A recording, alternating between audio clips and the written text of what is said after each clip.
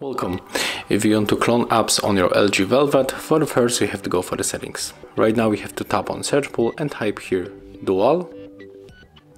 Click on the dual app and here we got the one application that supports this mode. It is Facebook, so let's install.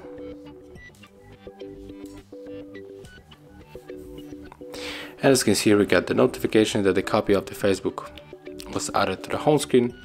And here we can check it. And here's the second. And here we will find the first and it will be here.